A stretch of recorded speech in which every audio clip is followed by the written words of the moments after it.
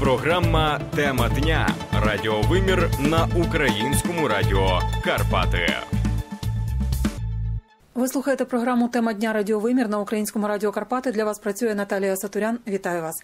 Сьогодні в Україні завершився європейський тиждень громадського здоров'я. Як повпливала пандемія COVID-19 на громадське здоров'я в Україні, як спрацьовує та як мала би розвиватися система громадського здоров'я в регіонах, говоримо сьогодні. І своїм ефіром Українське Радіо Карпати долучається до цього тижня. Українське Радіо Карпати можна слухати в Івано-Франківську на хвилях 71,2, у Верховині 103,6 FM, по дротовому радіо, а також онлайн на сайті і в Суспільне медіа. Нашими експертами сьогодні будуть зав кафедри соціальної медицини та громадського здоров'я Івано-Франківського Національного медичного університету Орина Децик та психологиня, доцентка кафедри психіатрії, наркології і медичної психології Івано-Франківського національного медичного університету Олена Пітик. Але спершу повернемося до початку європейського тижня громадського здоров'я і послухаємо кілька фрагментів виступів, що допоможуть зрозуміти потребу в таких активностях та напрямки розвитку громадського здоров'я. Отже, про що цей тиждень каже Ярно Хабіхт, представник бюро ВООЗ в Україні. During the Public Health Week, we talk about various topics which are important to develop good public health systems. Під час тижня громадського здоров'я ми говоримо про різні теми, які важливі для розвитку системи громадського здоров'я. These are related to the Sustainable Development Goals, mental health, healthy aging, but also how public health and primary health care can work together better in whole Europe. Ми говоримо про цілі сталого розвитку, про психічне здоров'я, про первинну ланку медичної допомоги та її зв'язок з громадським здоров'ям, про здорове старіння. And uh, when we are working in public health, it means that we have better environment for healthy choices. We have health promotion and disease prevention activities in place, but also that we have a good surveillance systems. Коли ми працюємо в громадському здоров'ї, це означає, що ми маємо хорошу систему просування здорового способу життя, добру систему епідеміологічного спостереження. Головний державний санітарний лікар України Віктор Ляшко сказав, що ефективна система епідемічного захисту потребує централізації. Це показала пандемія COVID-19. На жаль,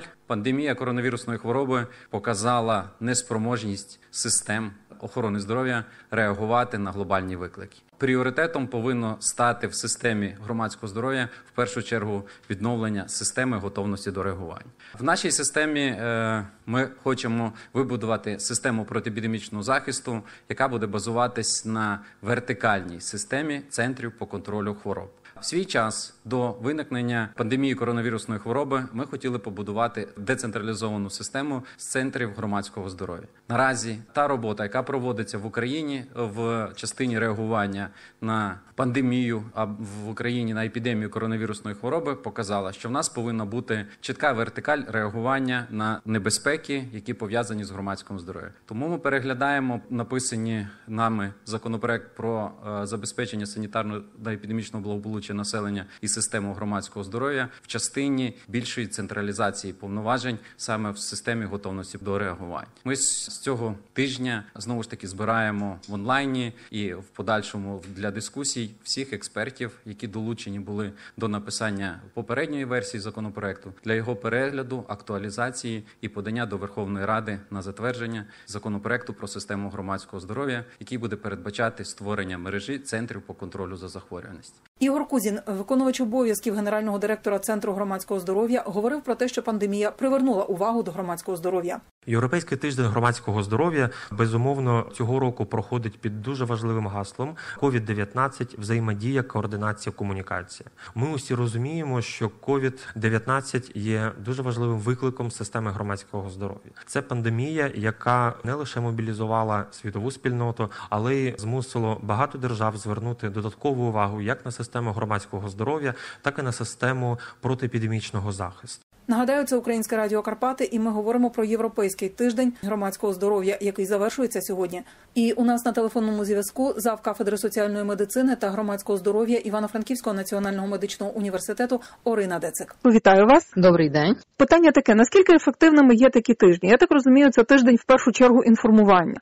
Але Так. наскільки справді він є дієвим в нашому суспільстві? От за моїми спостереженнями, люди не особливо знають про цей тиждень. Тобто, це моя думка, це моє спостереження. Спостереження, що ті люди, з якими я говорила, просто про цей тиждень не знають. Ну на жаль, так, але е, насправді я вас підтримую, що дуже важливо власне інформувати, проводити широку таку комунікативну кампанію, пояснювати, що ж таке громадське здоров'я і чому воно таке важливе в сучасному житті і взагалі в житті суспільства. Цей тиждень має підкреслити і всім ще раз нагадати, що відповідальність за власне здоров'я і за здоров'я суспільства це не є відповідальність тільки медичних працівників, тому що від них вплив на здоров'я це всього на всього 10%. А все решта ці чинники, які визначають здоров'я населення і здоров'я кожної людини, такі як соціально-економічні, як е, ну, рівень освіти, добробуту, як поведінкові чинники, тобто як ми себе поводимо індивідуально, чи маємо шкідливі звички, чи практикуємо здоровий спосіб життя, чи ми дбаємо про власне здоров'я, чи ми вчасно проводимо щеплення.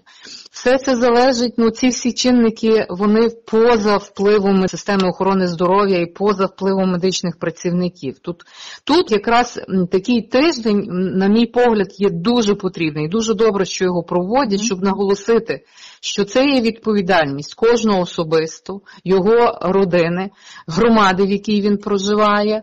Це є відповідальність органів державної влади, органів місцевого самоврядування, недержавних організацій, тобто всі політики мають працювати на здоров'я населення, а не тільки медики. Я, наприклад, не впевнена, чи взагалі українці знають, що таке громадське О, здоров'я. О. Е, Що таке громадське здоров'я? Це дуже правильне питання, тому що ми е, переклали, ну я би сказала, трошки не зовсім адекватно термін public health як власне громадське здоров'я. Я навіть мала дискусію у своїх наукових колах з цього приводу.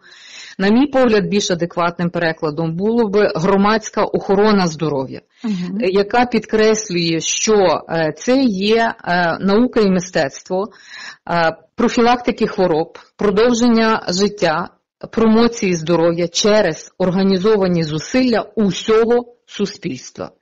Тобто це підкреслює, що це є система заходів. Власне, всіх, кого я перерахувала, і органів державної влади, і місцевої влади, і недержавні організації, якісь пацієнтські об'єднання е, кожної окремої людини, всі мають розуміти, що відповідальність за здоров'я лежить на них, і всі вони мають щось вкладати для того, щоб запобігати хворобам, продовжити життя і сприяти здоров'ю в суспільстві. А е, деколи неправильно розуміють громадське здоров'я як здоров'я е, громади. Так? Тут більш Мгм. адекватний переклад популяційне здоров'я, тобто здоров'я населення, здоров'я популяції, те, що ми оцінюємо через різні, е, можемо оцінити через показники, наприклад, рівень смертності населення, від яких причин, так? рівень захворюваності за різними захворюваннями, інвалідності населення. Оце є те, що ми вкладаємо в поняття популяційне здоров'я, вже як наслідок впливу певних чинників на здоров'я населення. От виконувач генерального директора Центру громадського здоров'я Ігор Кузін сказав на прес-конференції з приводу відкриття Європейського тижня здоров'я, що він відбувається під гаслом COVID-19 взаємодія, координація, комунікація. І в той же час заступник міністра охорони здоров'я Віктор Ляшко визнав, що е, загалом не тільки в Україні, але й взагалі в світі ця загроза показала неготовність системи охорони здоров'я до таких викликів. Ви якби ви оцінили, з чого треба починати, що треба робити, як треба діяти і куди рухатись в цьому напрямку? Дуже поважаю і Ігора Кузіна, і е, Віктора Ляшка. Два перфектні просто спеціалісти, фахівці в цьому напрямі. Але погоджуюся з тим, що ця ситуація з ковід якраз показала важливість. Важливість формування системи громадського здоров'я в суспільстві, важливість формування тих інституцій, які будуть займатися і під наглядом, моніторингом, захистом здоров'я, промоцією. Розумієте, це Мгм. все мають бути певні інституції. Ми, на жаль, на етапі реформи цієї системи. У нас тільки створений центр громадського здоров'я МОЗ України, який очолює зараз Ігор Кузін, а очолював пан Володимир Курпіта. І звідки вийшов Віктор Ляшко, е, який зараз є головним санітарним лікарем. І, на жаль, ця реформа, ну вона поки що не, не є завершеною. Особливо, як на мене, то на місцях ми маємо проблеми із завершенням реформування цієї колишньої так санепідслужби в, в таку дійсно світового рівня європейську по типу ну, відомих CDC центрів контролю над захворюваннями, тобто система, яка має відходити від нагляду до дійсно моніторингу ситуації, яка є в країні, для того, щоб запобігати ось таким ситуаціям. Тобто це важливо. Ну я ще можу тут не зовсім погодитися з паном Віктором Ляшком або його ну доповнити, що ця е, сьогодні ситуація з ковід якраз підкреслила, що наші заклади охорони здоров'я е, трошки забули, що таке інфекційний контроль. Ну не всі, так, але частина з них. І ми побачили, що і в суспільстві нема настороженості, ми якось розслабилися, що всі інфекційні хвороби вже подолані, нічого не може бути такого, вже нема ні чуми, холєри. А тим часом нам природа кожен раз щось нове підкидає, і бачимо, що мусимо бути завжди готові до таких загроз, в тому числі і інфекційних. Ну я от власне конкретніше запитаю. Віктор Ляшко на прес-конференції сказав, що пріоритетним повинно стати в системі громадського здоров'я відновлення системи готовності до реагувань, так. і що в зв'язку з цим хочуть вибудувати систему епідемічного захисту, яка буде базуватись на вертикальній системі центрів з контролю хвороб. І власне тому переглядається законопроект е, про забезпечення санітарного та епідемічного благополуччя населення і м, системи громадського здоров'я е, в тій частині про централізацію повноважень в системі готовності до реагувань. І це буде означати створення мережі центрів по контролю за захворюваністю. От, власне, до цього як ви ставитеся, як ви це бачите? Тобто, попередньо він сказав, що хотіли вибудовувати децентралізовану систему так, центрів громадського здоров'я. Угу. Тобто, як ви ставитесь до цієї необхідності централізації, як зараз е, починають в цьому напрямку працювати? Ну, в ситуації власне контролю над інфекційними хворобами, безумовно, така централізація, яка вертикаль, така розумієте, що інформація має швидко проходити на сам верх. Раніше був в кожній області головний державний санітарний лікар області, який за своєю посадою був першим заступником губернатора, так ну тобто голови облдержадміністрації. І якщо щось таке ставалося, то він напряму повідомляв органи місцевої влади і державні про те, що от є якась така ситуація, і треба на неї бігом реагувати. І дійсно, я ж кажу, що ця реформа, на жаль, не завершена. І в нас, наприклад, центр громадського здоров'я створений, ну але чомусь в нього не війшов е, наш лабораторний центр. Я ніяк не можу зрозуміти, як може бути центр громадського здоров'я без тієї інформаційної бази, які їй дає для моніторингу наш лабораторний центр. Я уточню, тобто центр громадського здоров'я був створений у вересні 2019 року. і Він називається Центр громадського здоров'я обласної ради. Так і на але, базі... але зверніть увагу, що туди не війшов обласний лабораторний центр. Ну як на мене, це є нонсенс, тому що втратиться знову ж ну, ця от безперервність, власне, епіднагляду, епідконтролю. В поняття епіднагляду входить не тільки контроль за інфекційними, але й за неінфекційними захворюваннями і загрозами для здоров'я. І це, власне, такий лабораторний, ну, підґрунтя такий і науковий, і лабораторний має власне лабораторний центр. Ну не знаю, як як так сталося, і знаю, що йдуть це на треба всеукраїнському рівні. Референтні лабораторії вони входять в центр громадського громадського здоров'я? От, власне, це складне питання. Ви, ви важке питання задали, тому що власне Віктор Ляшко і і пробував дати на нього відповідь. Угу. Е, Коли формували нову систему громадського здоров'я, то планували, що кожна область, е, ну дали як ніби на відкуп кожній області, їхнє їхнє бачення створювати собі такий центр громадського здоров'я, як вони вважають, що для них є більш потрібний. Ну, життя показало, що це не зовсім правильно. Мають бути хоча б якісь ранкові вимоги до того мінімуму, як має виглядати такий центр громадського здоров'я і чим він має займатися. Тому поки що в кожній області в нас робиться, як то делікатно сказати, хто що хоче, той і робить. Так? Хто собі як бачив ту систему, так і сформував. Хтось на базі центру здоров'я, хтось на базі того лабораторного центру, тобто колишньої СЕС зробив.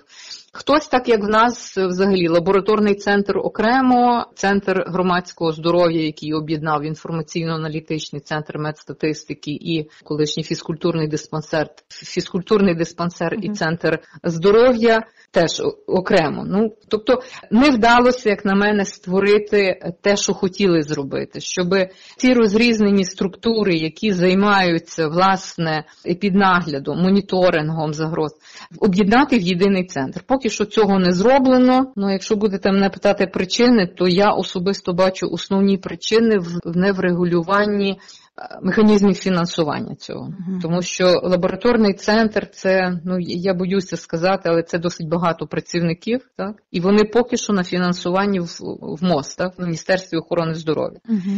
І ясно, що місцева влада дуже боїться, що це фінансування перекинуть на них, тому що ми розуміємо, що в них дуже мало коштів.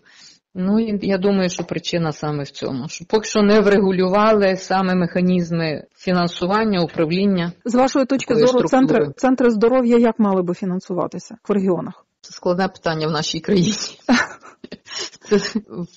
Я думаю, що життя показало, що не може бути єдиного джерела фінансування. Так, на якісь програми мають бути кошти закладені в державному бюджеті, а якісь програми мають бути з місцевих е, коштів, а щось вони мають і самі заробляти через платні послуги, ну так як то є всюди. Ну не знаю, якийсь аналіз води, хтось хоче собі зробити. Будь ласка. Тобто це має бути комплексне, багатоканальне фінансування, тому що одне джерело це не потягне. Це насправді досить великі. Профілактика коштує також грошей. В це треба вкладати гроші. Чи показав COVID-19 якісь е, власне проблеми або напрямки в тому, як здійснювати реформу в системі громадського здоров'я? Е, дуже багато плачів є всюди, що от зруйнували систему СЕС. Так, ну санепідстанції. Так, так, санепідемстанції. Ну, по-перше, її почали не, не не, зруйнували, а почали її реформувати ще 2012 року. У відповідь на те, що Європейське бюро ВОЗ прийняло так звану нову політику, нову європейську політику здоров'я 2020. І на виконання цієї нової європейської політики здоров'я 2020, яка власне і звертала увагу, що більшість чинників, які впливають на здоров'я, є поза компетенцією медичної сфери, що це мають залучатися широкі верстви цілого суспільства. У відповідь на цю політику було розроблено декілька планів дій. Серед них план дій щодо посилення потужностей систем громадського здоров'я в Європі. І ось у відповідь на цей план е, всі, в принципі, всі європейські країни почали реформувати свої системи громадського здоров'я. І ми це почали. Але почали, ну як сказати, ту систему санітарно-епідеміологічних станцій хотіли просто від них забрати ту функцію наглядову. Таку ви пам'ятаєте, що вони приходили всюди і виписували штрафи. Перевести це в власне виконання тих десяти основних оперативних функцій громадського здоров'я, які я ну коротко назву п'ять основних: це піднагляд, моніторинг загроз, це є захист, промоція, е, раннє виявлення захворювань і п'ять таких сприяючих, так? тобто управління, фінансування, кадрове забезпечення, комунікації і наукові дослідження. Ми почали робити цю систему, але ви розумієте, що в нас завжди якісь так політичні катаклізми, зміни постійні міністрів охорони здоров'я своїми з різними баченнями цієї проблеми. Ну і на мій погляд, ми її просто не завершили. Але можливо, от зараз ця ситуація з ковід, вона ну нема зла би на добре не вийшло, вона підштовхне і покаже, що все-таки ця система має працювати, тому що йдеться про здоров'я людей. Це є питання національної безпеки, така система. І плюс треба продовжувати ті інші профілактичні програми. Ну, Мені, наприклад, імпонує в цій реформі системи громадського здоров'я, що ми відходили від тотального контролю е, і такого нагляду формального, так, щоб когось оштрафувати, до реально цільових таких напрямів, цільових програм. Тобто є чітко визначені пріоритети в здоров'ї, чітко ми знаємо, на що хворіють переважно і від чого помирають люди. Тобто має бути і піднагляд як за інфекційними хворобами і їх профілактика через е, вакцину профілактику. Ось всі всі ми зараз правда е, чекаємо, коли ж розроблять цю вакцину, щоб нарешті люди перестали так мучитися і помирати від цього ковіду. Ну і е, профілактика неінфекційних хвороб. Ми знаємо, що Тут мають іти програми боротьби із серцево-судинними хворобами, із туберкульозом, з ВІЛ-інфекцією, які ну ніби інфекції, але вони не є такі контагіозні, як от цей же ковід, як там кір, віспа. Вони йдуть як основні неепідемічні захворювання, які підлягають постійному моніторингу, так само онкозахворювання, цукровий діабет, тобто неспецифічні хвороби органів дихання. Це є ті пріоритети, з якими профілактикою яких займаються сьогодні всі розвинені країни на рівні держави, громади і індивідуальному. Тобто, загалом ви могли би також підписатися під словами Віктора Ляшка, ну головного санітарного лікаря України, бо він закликав переглянути mm. свій вакцинальний статус. Так, тобто, треба так. прийти і зробити щеплення сьогодні. Зробити щеплення, сьогодні розпочати фізичну активність. Сьогодні так. треба зробити все можливе, щоб провести своє психічне здоров'я у відповідність. Це процитувала Пере... зараз Віктор так. Ляшка. Переглянути, що ми їмо, як ми рухаємося, чи треба нам курити, якщо хтось курить. Тобто переглянути свої позиції, тому що угу. прийде час, за це прийдеться розплачуватися. Отже, Орина Децик погоджується з потребою централізованої системи епідемічного захисту на основі центрів з контролю хвороб та вважає за необхідне завершити реформу системи громадського здоров'я на основі європейського плану щодо посилення систем громадського здоров'я. Це передбачає європейська політика здоров'я 2020 і випливає вона з того, що більшість чинників впливу на здоров'я є поза межами медичної сфери та залежить від усвідомлення і відповідальності людей. Нагадаю, у день завершення європейського тижня здоров'я ми говоримо про те, як повпливала пандемія COVID-19 на громадське здоров'я в Україні, як спрацьовує та як мала би розвиватися система громадського здоров'я в регіонах. Європейський тиждень здоров'я складався з під тематичних блоків, тобто кожен з п'яти днів мав свою спрямованість. Про це інформує сайт Центру громадського здоров'я України. Ми докладніше поговоримо про один із цих напрямків. Отже, з нами на телефонному зв'язку Олена Пітик, доцентка кафедри психіатрії, наркології і медичної психології Івано-Франківського національного медичного університету. Вітаю вас у нашому ефірі. Добрий день. Ми будемо говорити про психічне здоров'я. Е, в першу чергу про психічне здоров'я під час е, пандемії COVID-19, під час е, карантину.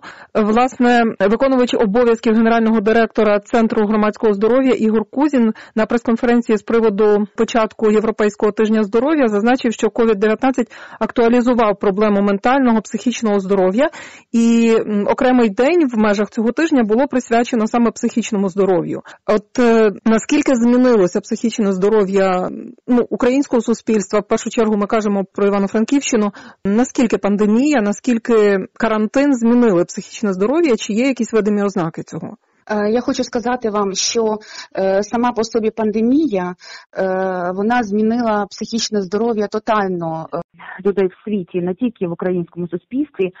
Хоча в українському суспільстві, на мою думку, це ем, виглядає набагато сумніше ніж в інших країнах, адже на превеликий жаль, українське суспільство, люди в українському суспільстві довший час знаходяться в так званому соціально-стресовому розладі, тобто це розлад, який виникає тоді, коли в країні тотально відбуваються значні економічні, політичні, гуманітарні зміни. І по великому рахунку ми вживаємо в постійних реформах, е, не знаємо, що буде далі.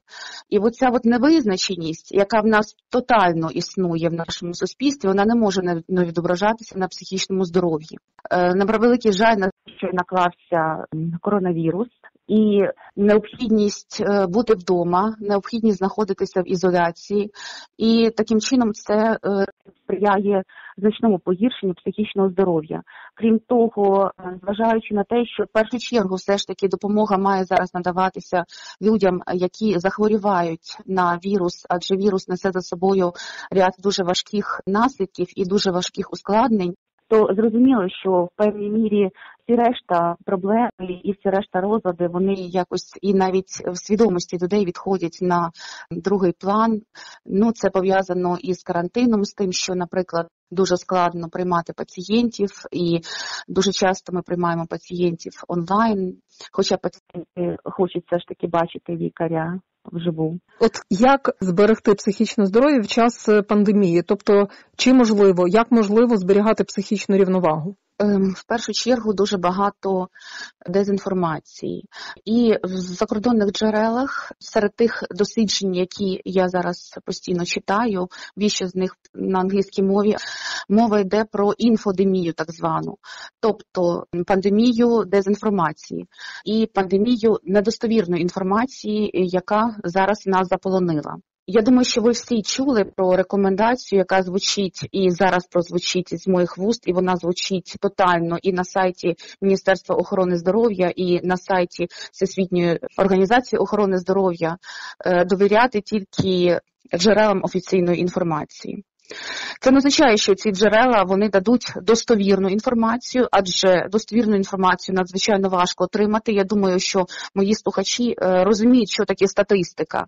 Е, ми ж з вами це прекрасно розуміємо, що дуже багато людей е, вони є носіями вірусу, наприклад, так або вони переносять вірус без ускладнень, і в них ця патологія вона не є зафіксована. Тобто казати про те, що та статистика офіційна, яку ми бачимо на офіційних сайтах і в офіційних джерел, що вона абсолютна, це просто абсурдно. Так, але тим не менше, коли ми читаємо е, різні фейкові джерела інформації, там на рахунок е, всесвітньої змови і е, таке інше, це все буде підвищувати тривогу. Адже Скажіть, ця... будь ласка, от е, ви кажете про інфодемію, про те, що надмірний перегляд і особливо незважаючи на джерела інформації, є шкідливим для психічного здоров'я. Але чи може бути шкідливим для психічного здоров'я або взагалі для здоров'я зворотній бік цього, коли людина каже, що я взагалі не дивлюся новини, я взагалі перестав перестала читати таку інформацію, адже це може спонукати до того, що людина починає поводитися небезпечно. Абсолютно з вами згодна згодна. Наслідком цієї інфодемії є якраз е, зворотній бік. Тобто люди пересичені інформацією і спрацьовують захисні механізми заперечення, примітивні захисні механізми, які е, змушують людину заперечити наявність цього вірусу. Повірте, я навіть буквально вчора від е, однієї людини, яка спочатку звернулася до мене за допомогою, то тепер ця людина каже: Я взагалі не вірю в цей вірус, того вірусу немає, і я взагалі не хочу взагалі про цей вірус більше чути. Тобто, це є зворотня реакція, так працює мозок, це є один з захисних механізмів, і це призводить до неадекватної поведінки.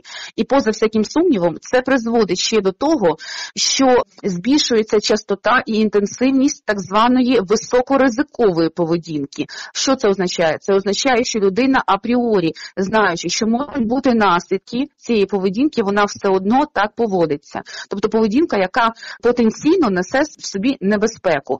Що стосується пандемії, то це є поведінка, яка нехтує тими заходами гігієнічними, про які нам постійно говорять. Тобто, на чорта мені потрібна ця маска, навіщо мені потрібні ці рукавички, навіщо мені потрібні дезінфектор і таке інше. Це є зворотній наслідок інфодемії, причому такий прямий наслідок.